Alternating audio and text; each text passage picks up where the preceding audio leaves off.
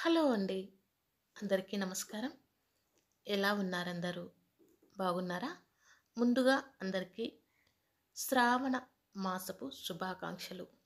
ఆ లక్ష్మీదేవి మీ ఇంట్లో స్థిరంగా ఉండాలని మనస్ఫూర్తిగా కోరుకుంటున్నాను.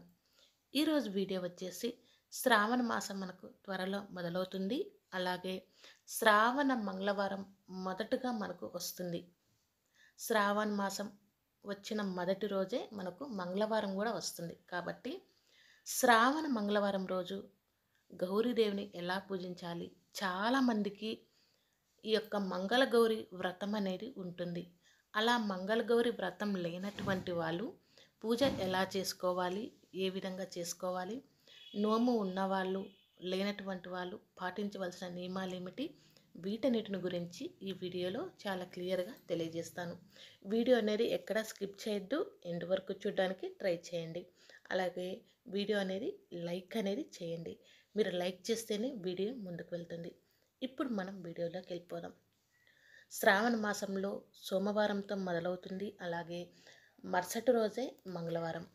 పెళ్ళైన వాళ్ళు పెళ్ళి కానటువంటి వాళ్ళు కూడా ఈ యొక్క శ్రావణ మాసంలో శ్రావణ గౌరిని పూజించండి. నోము ఉన్నవాళ్ళు బ్రాహ్మణ్ని పిలిపించుకొని నోము పూజ చేసుకోవచ్చు. లేదనుకుంటే ఇంట్లోనే మీరు ఒక ప్లేట్ తీసుకొని చక్కగా అందులో బియ్యం పిండితో ముగ్గు వేసి దాని మీద ఒక తమలపాకు పెట్టి ఆ తర్వాత గౌరీదేవిని మీరు అక్కడ ఏర్పాటు చేసుకోండి. గౌరీదేవిని ఖచ్చితంగా మీరు పసుపు ముద్దతో చేసుకున్నటువంటి గౌరీదేవిని పెట్టి పూజ అనేది చేసుకోవచ్చు. ఇది ఎందుకు చేసుకోవాలంటే పెళ్ళి కానటువంటి వాళ్ళకు ఏమైనా చాలామందికి సంబంధాలు వస్తూ పోతూ ఉంటాయి. మంచి సంబంధం కావాలన్నా ఏమైనా దోషాలు ఉన్నా కూడా ఈ యొక్క మంగళగౌరి పూజ చేసుకున్నట్టయితే చాలా మంచిది.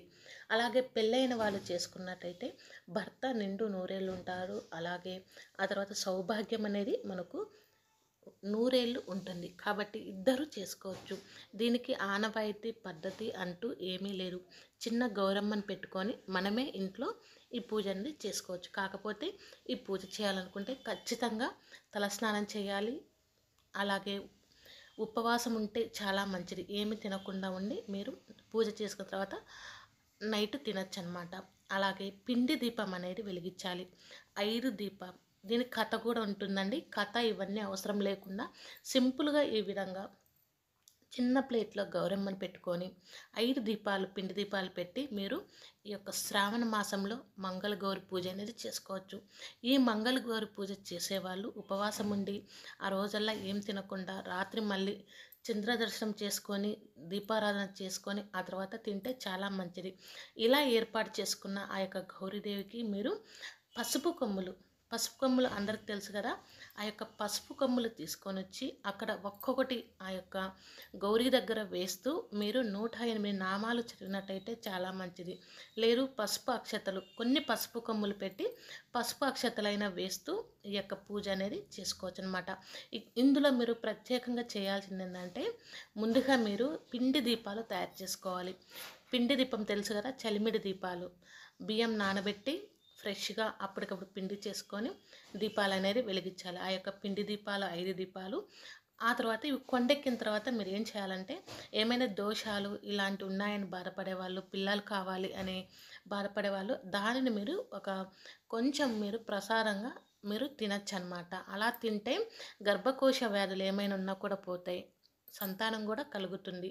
లేదు మాకేం ఇబ్బంది లేదు అను అనుకున్న వాళ్ళు మీరు ఆవు ఉంటుంది కదా ఆవుకు తీసుకెళ్ళి ఆవుకు పెట్టచ్చు. లేదంటే ఎవరు తొక్కని ప్రదేశంలో మొక్కలు ఉంటాయి కదా పూల కొండి పూల కుండీలు ఉంటాయి కదా ఆ యొక్క మొక్కల్లో కూడా మట్టిలో కలిపేయచ్చు అనమాట కాకపోతే వీటిని తొక్కకూడదు అనమాట మనము పూజ చేసుకునే నిష్ట ఉన్న వాటిని మనం తొక్కకూడదు.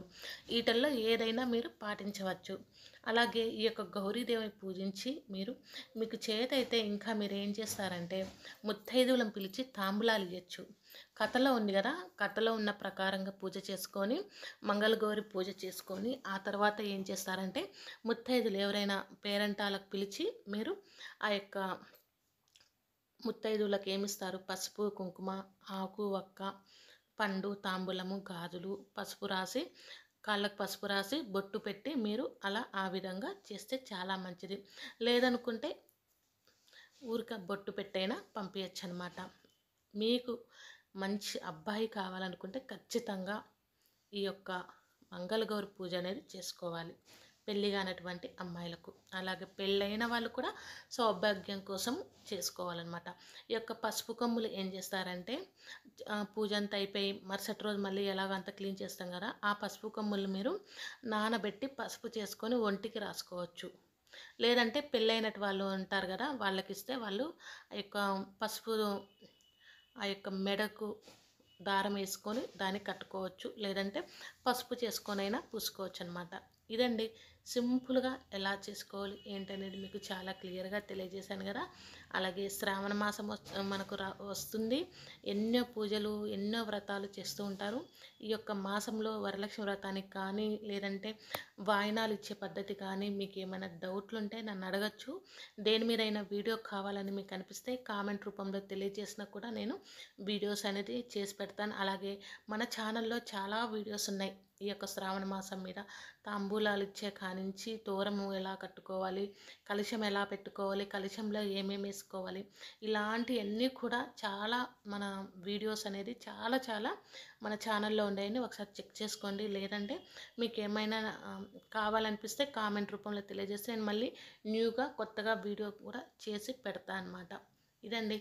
మంగళవారము శ్రావణ మాసము సింపుల్గా గౌరీ పూజ ఎలా చేసుకోవాలనేది నాకు తెలిసి తెలుసుకొని ఇక్కడ మీకు నేను తెలియజేశాను అనమాట వీడియో నచ్చినట్టయితే ఒక చిన్న లైక్ చేయండి అలాగే షేర్ చేయండి అలాగే సబ్స్క్రైబ్ అనేది చేసుకోండి. పసుపు కొమ్ములు మాత్రం మీరు వేస్ట్ చేయొద్దు. మంగళ గౌరి పూజలో పెట్టిన పసుపు కొమ్ములు ఎన్నైనా సరే మీరు ముత్తైదులకు దానం చేయండి. అంటే ఇవ్వండి. వాళ్ళు మెడలైన వేసుకుంటారు మొహానికి రాసుకుంటారు లేదంటే ఎలాగైనా వాళ్ళు యూజ్ చేసుకుంటారనమాట. మీకు ఎక్కువైతే మాత్రం వాటిని పడేయడం ఇలాంటివి అస్సలు చేయకండి. అలాగే ఈ యొక్క మంగళగౌరి వ్రతం చేసేవాళ్ళు ఆ రోజు ఇంటికొచ్చినటువంటి ముత్తైదులకు కూర్చోబెట్టి ఇంకా మీకు చేతైతే పలహారం కాని పెట్టి పంపించవచ్చు అన్నమాట. మరి యొక్క మంచి మళ్ళీ కలుస్తాను. ధన్యవాదాలు.